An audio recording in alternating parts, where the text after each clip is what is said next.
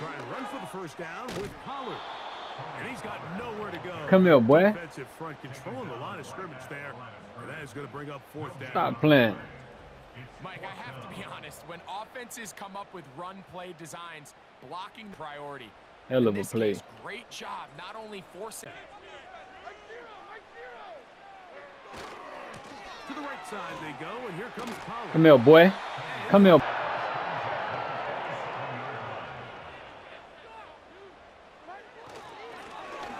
ground. It's Pollard.